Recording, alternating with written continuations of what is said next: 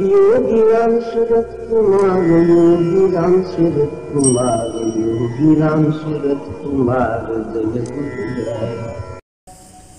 भगवान श्री योगिराम सुरत्कुमार की जय। योगिरासरत्कुमारी सर्वां योगिरासरत्कुमारा नमस्ते।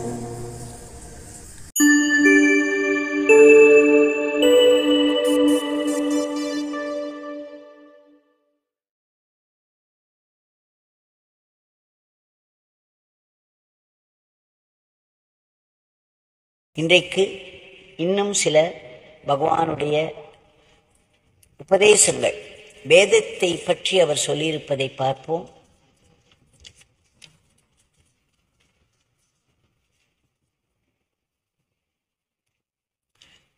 நேற்றைக்கு பார்த்தோம் பகவான் சொன்னார் இந்த ஹோமங்கள் எல்லாம் கண்டிப்பாக நடத்த வேண்டும். அது தேவதைகளை எல்லாம் திருப்திப்படச் செய்யும்.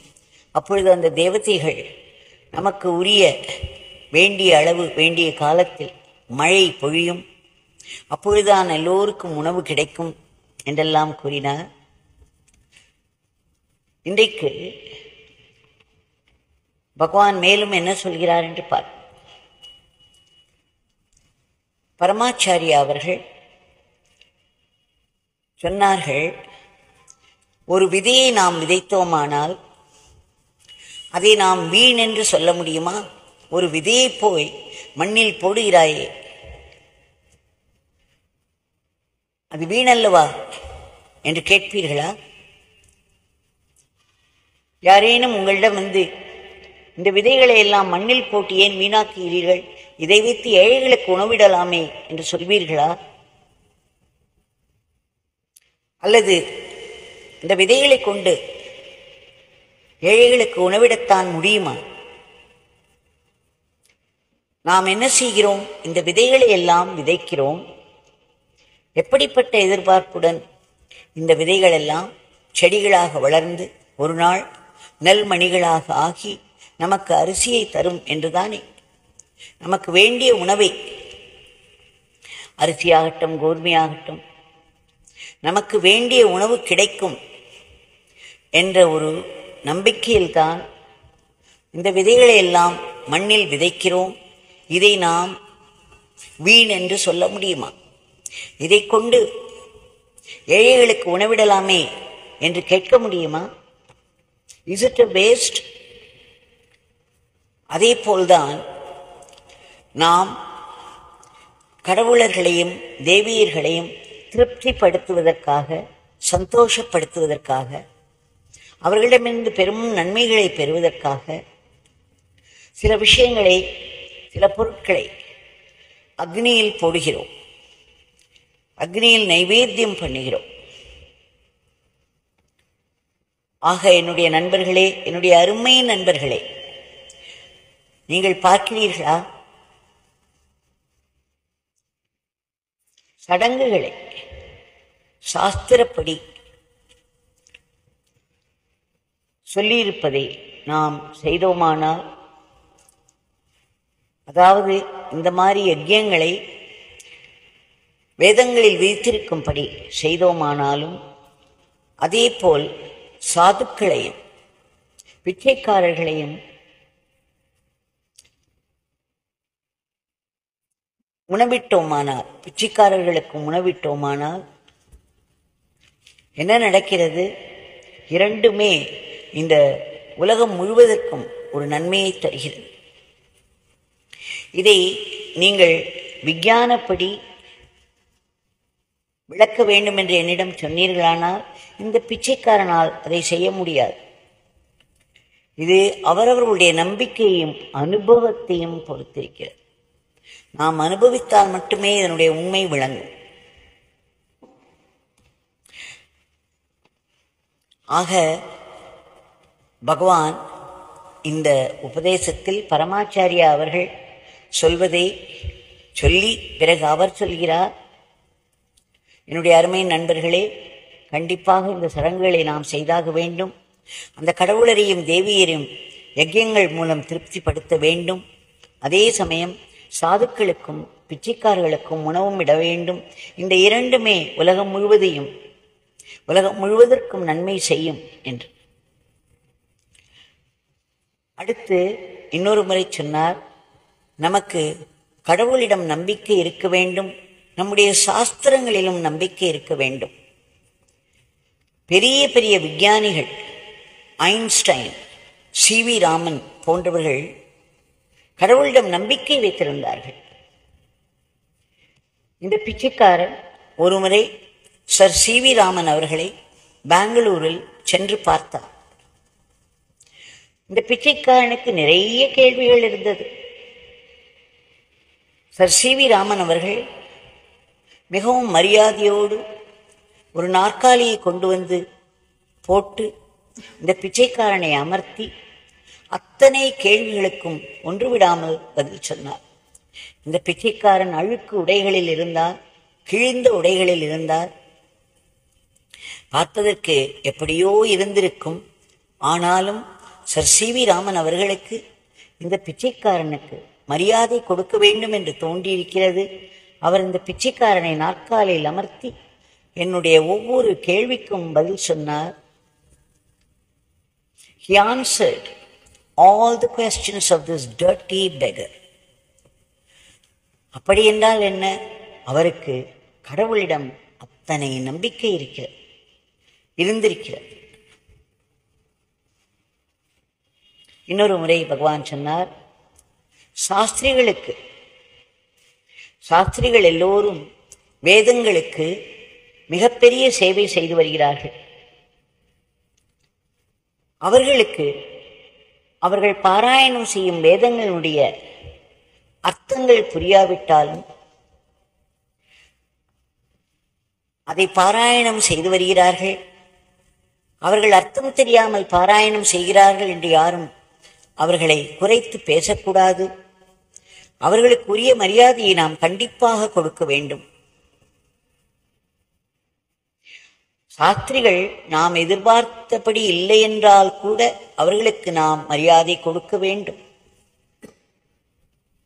காஞ்சி பரமாச்சாரியா அவர்கள் சாஸ்திரிகளுக்கெல்லாம் வேத பண்டிதர்களுக்கெல்லாம் உரிய பரிசுகளை கொடுத்து உரிய பொருளாதார உதவி செய்து பெரும் சேவை செய்து வருகிறார். அவர் வேத நிதி ரக்ஷனா என்ற ஒரு அமைப்பையும் உருவாக்கி இருக்கிறார்.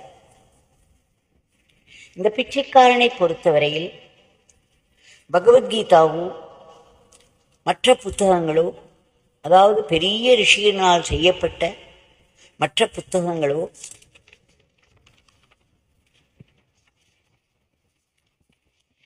என்ன சொல்கிறது? இந்த உலகமானது எப்படியெல்லாம் நடக்க வேண்டும் என்று. உரிய முறைகளை வகுத்து கொடுத்திருக்கிறது. அத்தனை விதிகளும் ஒழுங்குமுறைகளும் இந்த பழங்கால பெரும் ரிஷிகளினால் உருவாக்கப்பட்டது. அவைகளையே இந்த புத்தகங்களில் எல்லாம் பார்க்கிறோம்.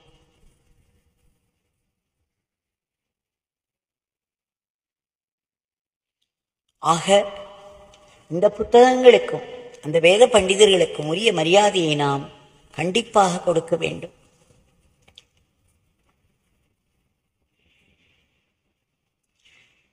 இன்னொன்றும் நாம் நினைவில் வைத்துக் கொள்ள வேண்டும். என்னுடைய தந்தை இந்த உலகத்தை நன்கு பராமரித்து வருகிறார். அவர்தான் இந்த இந்திய தேசத்தையும் இந்த உலகம் முழுவதையும் எப்பொழுதுமே பாதுகாத்து வருகிறார். அவர் வேண்டாதது எதையும் செய்ய வைக்க மாட்டார். காலம் காலமாக இதை செய்து வருகிறார். அத்தனையும் அவருடைய சூப்பர்விஷனில் அதாவது கண்காணிப்பில் தான் நடந்து வருகிறது. வேதங்களை பாராயணம் செய்வதும் திருமறைகளை பாராயணம் செய்வதும் மிகவும் முக்கியம். அதுவும் நாம் கஷ்டம் மிகுந்த காலங்களில் தேசத்திற்கோ உலகத்திற்கோ மிகவும் கஷ்டமான நேரம் ஏற்படும் பொழுது இந்த திருமறைகளையும் வேதங்களையும் கண்டிப்பாக பாராயணம் செய்ய வேண்டும். எந்த இடங்களில் வேத பண்டிதர்கள் வேத மந்திரங்களை பாராயணம் செய்தாலும் அந்த இடத்தில் அமைதி வரும் சக்தி வரும் சுபிக்ஷம் வரும். அவர்கள் வீதிகளில் வேதங்களை பாராயணம் செய்து கொண்டு சென்றாலும் அந்த பரப்பில் இவைகளெல்லாம் நிரம்புவதை பார்க்கலாம். அதனால் எந்த இடங்களிலெல்லாம் வேத பண்டிதர்கள் வேத மந்திரங்களை உச்சரித்துக் கொண்டிருக்கிறார்களோ அங்கு சென்று அதை கேளுங்கள். அவை உங்களுக்கு புரியாவிட்டாலும் பரவாயில்லை. உங்களுக்கு அது பெரும் நன்மையை தரும். அது மட்டுமல்ல இந்த உலகத்திற்கே அது ஒரு பெரும் நன்மையை கொண்டு வரும். என்னுடைய தந்தையினுடைய பெரும் கருணையினால் இந்த வேத முறைகள் அதிகமாகிக் கொண்டே போகும். வேதங்களை பற்றிய விஷயங்கள் எல்லாம் நன்கு பராமரிக்கப்பட்டு நல்லபடியாக நடந்து வரும். நம்முடைய நாடானது இந்த வழியில் சென்று இந்த உலகத்திற்கே ஒரு வழிகாட்டுதலாக ஒரு வழிகாட்டியாக இருக்கும். இந்திய தேசமானது வேதத்தில் வேரூன்றி இருக்கிறது. இந்த நம்முடைய பாரத தேசம் வேத பூமி தர்ம பூமி என்று அழைக்கப்படுகிறது. இதுவே ஒரு நாள் இந்த உலகம் முழுவதையும் தர்ம வழியில் நடத்தி செல்லும். என்று முடித்தார். இவை எல்லாவற்றையும் திரும்ப திரும்ப நாம் கேட்க வேண்டும். ஒரே முறையில் கேட்டு அடுத்த நாள் கேட்டால் இதை திரும்ப திரும்ப சொல்கிறார்களே போர் அடிக்கிறது என்று சொல்லக்கூடாது. நமக்கு நல்ல உணவுகள் ருச்சியாக இருக்காது. ஆனால் அவைதான் நமக்கு ஆரோக்கியத்தை தரும். நமக்கு ருச்சியாக இருக்கும் உணவுகள் எல்லாம் நாம் எங்கெங்கோ சென்று வாங்கி சாப்பிடுவோம். ஆனால் அது வியாதியாக கிளம்பிவிடும். அதுபோல்தான் நல்ல நெறிமுறைகள் நல்ல விஷயங்கள் நமக்கு போர் அடிக்கும். அதனால் நிறைய வியூஸ் எல்லாம் கிடைக்காது. பகவான் அடிக்கடி சொல்வார் இந்த இமிட்டேஷன் ஜுவல்லரி அங்கு சென்றால் நிறைய கூட்டம் இருக்கும். ஆனால் ஒரு டைமண்ட் ஷாப்புக்கு சென்றோமானால் மிகச்சிலரே அங்கு இருப்பார்கள். அதுபோல்தான் இந்த மாதிரியான விஷயங்கள். ஆக எல்லோரும் இவற்றையெல்லாம் திரும்ப திரும்ப கேட்டு பலனடைய வேண்டும் என்றும் நாம் பிரார்த்தித்துக் கொள்ள வேண்டும். இன்றைய பிரார்த்தனையை பகவானுடைய திருவடிகள் சமர்ப்பிப்போம். பகவான் தான் நாங்கள் தாங்கள் பெரும் கருணையோடு உடனடியாக குறுக்கிட்டு இந்த உலகத்தின் போக்கை முற்றிலும் மாற்ற வேண்டும். இன்றைக்கு இந்த உலகத்தில் வன்முறை தலையோங்கி பயங்கரமான வன்முறை சம்பவங்கள் நடப்பதை கேட்கிறோம். மிகவும் அச்சத்தை தருகிறது. கேட்கும் பொழுதே மனம் பதறுகிறது. தாங்களது பிரபஞ்சத்தின் நாயகன் தங்களால் முடியாதது எதுவும் இல்லை. தாங்கள் இல்லாத இடமும் இல்லை. பெரும் கருணையோடு இந்த உலகத்தில் அமைதி சமாதானம் ஒற்றுமை ஒழுங்கு கட்டுப்பாடு நல்லிணக்கம் ஆகியவற்றை மனித வாழ்க்கையில் கொண்டு வர வேண்டும். மனிதர்கள் ஒரு தர்ம நெறியில் வாழ்ந்து இறைவனின் நினைப்போடு இருக்க வேண்டும். ஏற்கனவே இரண்டு தேசங்களுக்கு இடையே ஒரு போர் பெரும் அளவில் நடந்து கொண்டிருக்கிறது. பயங்கர விளைவுகளோடு அதற்கு ஒரு நியாயம் கற்பித்திருக்கிறார்கள். தாங்கள் இந்த போரை உடனடியாக நிறுத்தி இது இந்த போர் விரிவடைந்து பல நாடுகளை சேர்த்து விடுமோ என்ற அச்சத்தை எடுக்க வேண்டும். இந்த உலக நாடுகள் அனைத்தையும் தாங்கள் ஆசிர்வதித்து இந்த போர் என்ற சொல்லே எழும்பாத நிலைக்கு உலகம் வர வேண்டும். அடிக்கடி வந்து நம்மை தாக்கும் கொடிய நோய்கள் வன்முறை மிக்க இயற்கையின் சீற்றங்கள் கோர விபத்துக்கள் இவற்றை தாங்கள் கட்டுக்குள் வைக்க வேண்டும். இன்றைய உலகத்தின் வன்முறைக்கு காரணமாக இருக்கக்கூடிய எதிர்மறை எண்ணங்களை எல்லாம் அசுர எண்ணங்களை எல்லாம் மக்கள் மனதிலிருந்து தாங்கள் ஒழிக்க வேண்டும். எந்த நாட்டினர் ஆனாலும் சரி எந்த பாஷை பேசுபவர் ஆனாலும் சரி எந்த மதத்தை தழுவினவர் ஆனாலும் சரி அவர்களுக்கு இந்த மறுபிறப்பிலும் கர்ம விதியிலும் நம்பிக்கை இருக்கிறதோ இல்லையோ அவர்களும் தங்கள் தங்கள் உழுவினை காரணங்களாக காரணங்களினால் பெரும் துன்பங்களில் சிக்கி உதவியின்றி பாதுகாப்பின்றி துன்புற்று வருகிறார்கள். இந்த கர்ம விதியானது மிகவும் துல்லியமாக செயல்படும். அது யாரையுமே விட்டு வைக்காது. அவதாரங்களை கூட விட்டு வைக்காது. ஏனென்றால் இது இயற்கையின் நியதி இறைவனின் நீதி. இதை நாம் விலை கொடுத்து வாங்க முடியாது. ஆயினும் நாங்கள் தங்களிடம் மீண்டும் மீண்டும் வேண்டிக் கொள்கிறோம். தங்களுடைய கருணையானது உலகத்தில் துன்புற்றிருக்கும் அத்தனை பேருக்கும் எட்டி வேண்டிய உதவிகள் கிடைக்க வேண்டும். சுயநலமின்றி மற்றவர்களுக்காக வாழ்ந்து கொண்டிருக்கும் நல்ல தொண்டர்களை பழி பாவங்களிலிருந்து தாங்கள் காப்பாற்ற வேண்டும். நாட்டின் பொருளாதாரத்திற்கு ஒரு பெரிய ஏற்றம் தந்து நாடு பல துறைகளில் மிக சிறப்பாக முன்னேறி உன்னத நிலையில் விஸ்வகுருவாக இருந்து இந்த உலகத்தையே தர்மத்தின் வழியில் நடத்தி செல்ல வேண்டும். தங்களுடைய திவ்யமங்கல நாமத்தை நாங்கள் இடைவிடாது உச்சரிக்க வேண்டும் ஆனந்தமாக உச்சரிக்க வேண்டும். தங்களுடைய லீலைகளின் பிரதேசங்களையும் திரும்ப திரும்ப மனதிற்கு கொண்டு வந்து அதை ஜீரணித்து ஆத்மசக்தியாக மாற்றிக்கொள்ள வேண்டும். தங்களுடைய கைகளிலே நாங்கள் சாத்விக கருவிகளாக மட்டுமே இயங்க வேண்டும்? தப்பித்தவரை கூட ராட்சச கருவிகளாக ஆகிவிடக்கூடாது. எங்களுடைய அன்றாட வாழ்க்கையை தங்களுக்கு அர்ப்பணமாக செய்து வர வேண்டும். மாயையின் பிடிக்குள் சிக்கிவிடக்கூடாது. தங்களுடைய பேரானந்த பிரம்மானந்த நிலை எங்களுக்கும் கிட்ட வேண்டும் என்று வேண்டிக்கொள்கிறோம் ஆனால் எங்களுக்கு தெரியும் அதற்கு எங்களுடைய மனமானது தூய்மையாக வேண்டும். இப்பொழுது எங்கள் மனங்களில் ஆசா பாசங்கள் காடு போல் மண்டி கிடக்கிறது. பூர்வ ஜென்ம கர்மாக்களின் விளைவுகளினால் ஏற்பட்ட வாசனைகள் நிரம்பி கிடக்கிறது. அதனால் என்ன ஆகிறது எங்களுடைய மனமானது மிகவும் பலமாக அலைக்கழிக்கப்படுகிறது. திடும் திடும் என்று ஒரு பயம் வந்து தாக்குகிறது. அதே போல் விஷம் போன்ற கோபம். அது தவிர பொறாமை பொச்சரிப்பு பழிவாங்குதல் காமம் துக்கம் போன்றவை சதா மனதை மாற்றி மாற்றி அலைக்கழித்துக் கொண்டே இருக்கிறது.